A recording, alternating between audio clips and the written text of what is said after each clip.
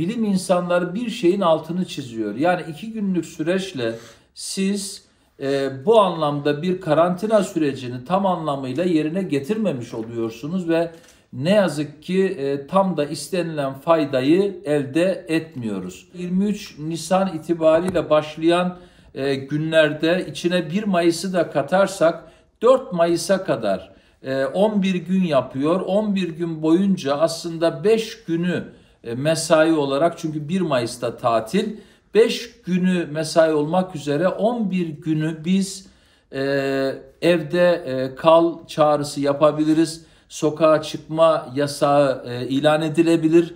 Lütfen 23 Nisan e, ve 4 Mayıs'a kadar ki bu süreçte sadece 5 günlük mesainin olacağı bu süreci bir fırsata çevirelim. Hem İstanbul adına hem Türkiye'miz adına.